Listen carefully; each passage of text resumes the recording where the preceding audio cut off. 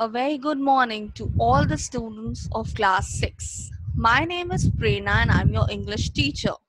And today from your English book Skyline, we are going to be reading chapter number 8. Tell me how many of you have this habit of complaining about life? Uh, something like, oh my god, my friend has this, I don't.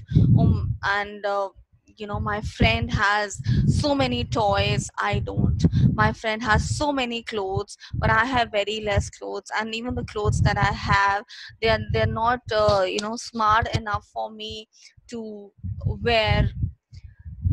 A few of us have this habit that we compare our life with someone else. And sometimes we go so deep into that a feeling of trying to become like someone else that we lose our true identity.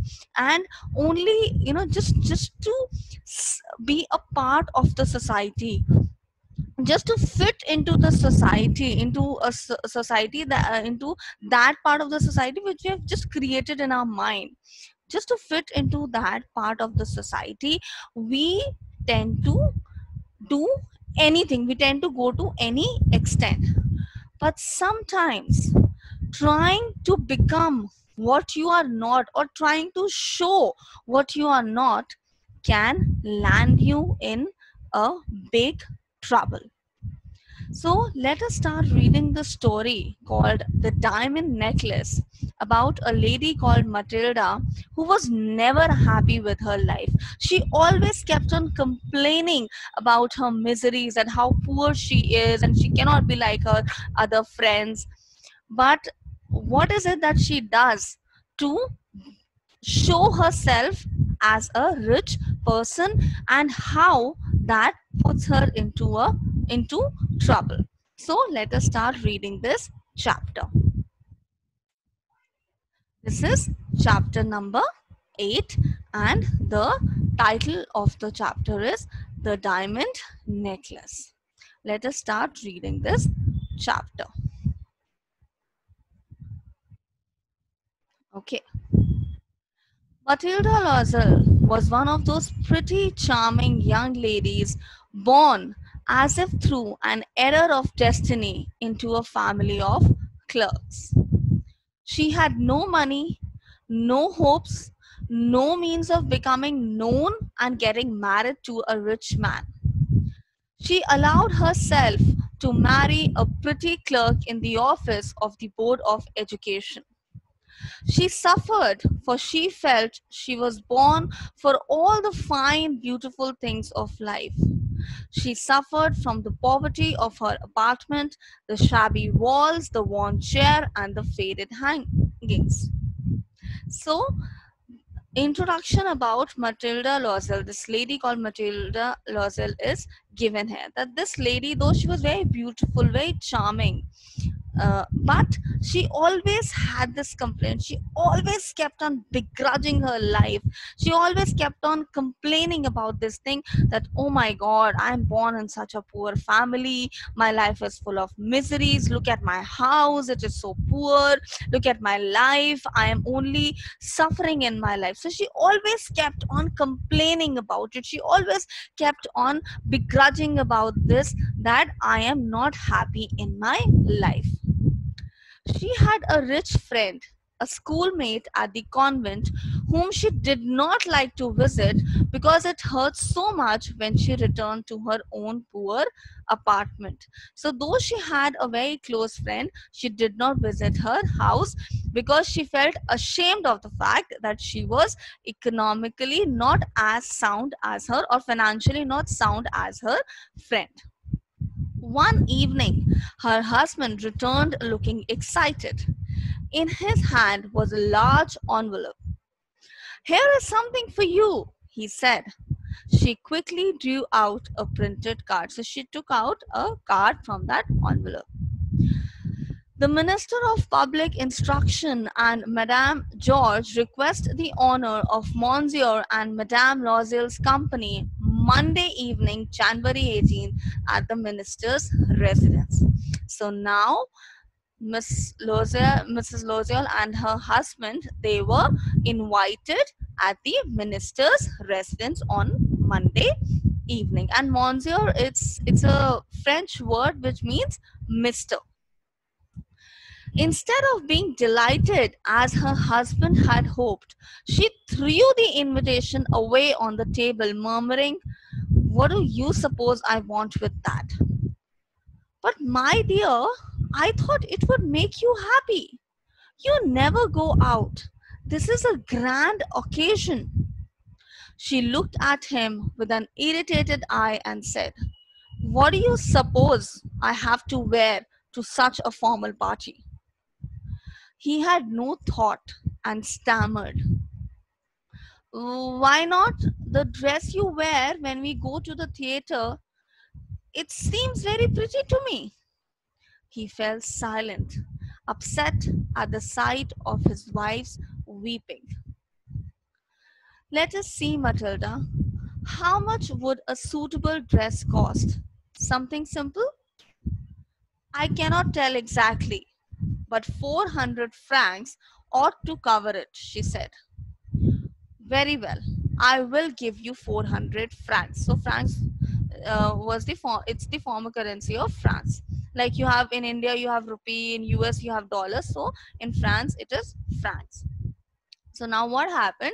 Matilda's husband had returned home and he showed the invitation uh, that he got invitation to um, uh, the minister's residence. So her husband had hoped that Matilda is going to be really happy that wow, we are going at uh, such a grand place. We're going to meet such great and such known people. But Matilda was still not happy. So understand her life condition. She's always unhappy so she said that what what am i supposed to wear on this occasion so her concern is not uh, going to the minister's house her concern right now is that what is it that i'm supposed to wear and she tells her husband that a new dress is going to cost me 400 francs and the husband he readily agreed because he loved his wife matilda selflessly the day of the ball approached, and Madame Loisel seemed sad and anxious. Her husband said to her, What is the matter with you? And she responded, I'm upset because I don't have a jewel to adorn myself with. So now, despite the fact that her husband bought her a dress, a new dress, there is she has another complaint ready. She says, Now I don't have a matching jewelry. What am I supposed to do now? Then her husband cried out, How stupid we are! Go and ask your friend, Madame Frostier, to lend you her jewels. So, Madame Frostier is Matilda's friend, at whose place Matilda avoids going. The next day, she took herself to her friend's house and related her story of distress, sadness. Okay. Madame Frostier took out a large jewel case opened it and said, Choose, my dear. Among the jewels, she saw a superb necklace set with diamonds. She asked in a hesitating voice, Could you lend me this? Why, yes, certainly. The day of the ball arrived. Madame Loisel was a great success. Was a great success means that she was for a change. Madame Loisel or Matilda, she was extremely happy because she had a new dress, she had a diamond leg necklace. So even she could show off herself to be very rich and very elite. She was the prettiest of all, elegant, gracious, smiling, and full of gaiety. Extremely happy. All the men noticed her, asked her name, and wished to waltz with her. So, waltz is a kind of dance. She danced with enthusiasm, thinking of nothing, floating on a cloud of happiness. She and her husband left the ball at around 4 o'clock. So, at 4, 4 a.m., they left the uh, ball, not 4 p.m., at 4 a.m. Out in the street, they found no carriage and began to look for one. There was one in the distance. It took them as far as their door in the Martyr Street. They went up to their apartment. She stood in front of the glass for the final view of herself in her glory. So sometimes, you know, when we feel we're looking very uh, pretty or we're looking very handsome, we keep on looking at ourselves in the mirror. Even when we return, oh my God, everyone was looking at me. Wow, I'm so pretty, you know. So this is exactly what Matilda was doing. So she wanted to have a final look at her, at her dress and her diamond necklace. So what happened? She suddenly uttered a cry. Her necklace was not around her neck. So the diamond necklace was gone. She turned towards her husband. I have, I have, I no longer have Madame Frostier's necklace. And they looked in the folds of the dress, in the pockets, everywhere, but did not find it. They looked at each other, utterly cast down. So both of them were utterly disappointed. Why? Because they could not find the diamond necklace that they had borrowed from Madame Frostier. It will be necessary, he said, to write to your friend that you have broken the clasp of the necklace and that you will have it repaired. This will give us time. Clasp means the buckle. So whenever you wear a piece of jewelry around your neck, it has a buckle kind of a thing to tie it. So uh, Mr. Loisel, he tells his wife that you uh, write a letter to your friend saying that the clasp is broken or the buckle is broken. So uh, give me some time, I'll get it repaired and then I will give it to you. So he thought that, you know, this is going to uh, give us some time to uh, probably buy a, another diamond necklace. She wrote as he directed. At the end of a week, they had lost all hope. Lozier declared, We must take measures to replace this jewel. They went from jeweler to jeweler seeking a necklace like the lost one. In a shop, they found a necklace of diamonds which seemed exactly the one they had borrowed. It was value of 40,000 francs. Loisel possessed 18,000 francs which his father had left for him. He borrowed the rest. So Loisel only had 18,000 francs as, as a saving and 32,000 he took as a loan. When Madame Loisel took the jewel back to Madame Frostier, the latter said in a cold tone, You should have returned them to me sooner, for I might have needed them. Madame Loisel now knew the horrible life of bare necessity. They had to pay this frightful debt and she would pay it. They sent away the maid, they changed their lodgings. Lodgings means house. So now Matilda and her husband now they told their maid that you don't have to come to our house only to you know uh, uh, they were looking for ways in which they could save maximum amount of money right? So they told their maid to go away and then they also changed their house. She learned the heavy cares of a household the hateful work of kitchen. She washed the dishes and the soiled le- uh, linen that means the clothing. The husband worked evenings and nights. This life lasted 10 years so it took them 10 years to repay the debt of 32000 francs at the end of 10 years they had repaid all their debts all their debts madam Madame Loisel now seemed old. She had become a downtrodden woman of a poor household. Means very weak and very, uh, you know, not very pleasant to look at. One day she was taking a walk. She suddenly saw Madame Frostier. Should she speak to her? Yes, certainly. Why not?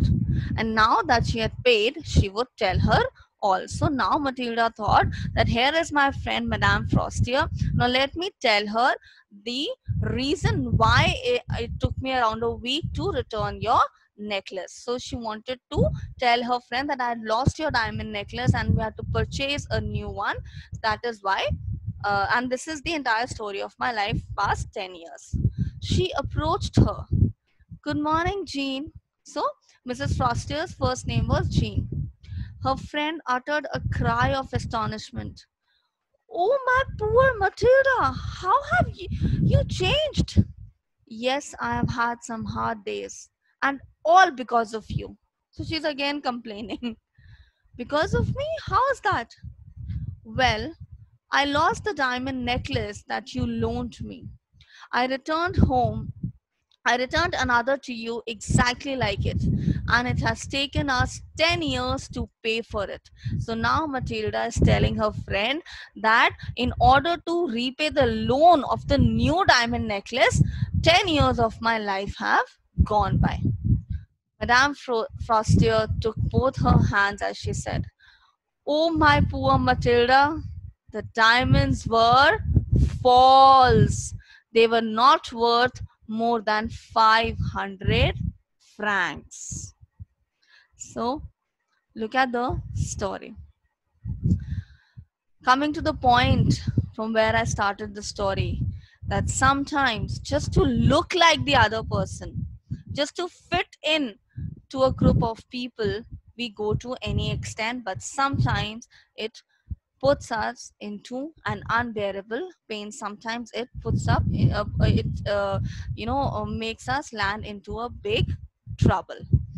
And another you know thing that uh, another lesson that you would have learned in this chapter let's say you've borrowed something from someone Inst- and by mistake you've lost it instead of hiding the fact let that person know because Matilda did not tell her friend that I've lost the diamond necklace. So, what was the result of it? She thought, Matilda thought that it was a real diamond necklace, but it was a false diamond necklace. But Matilda and her husband was, uh, suffered for 10 years. So, I just want to tell all of you first of all, try and be happy with what you have. It is always good to ask for more, but not at the cost of being greedy. There's no point if you're if you're asking something because there's a greed inside you. That prayer will never be answered. And do not complain about your life. Be happy. First, be happy. Be thankful with what you have. And only then that thing will multiply in an unlimited manner. Thank you so much.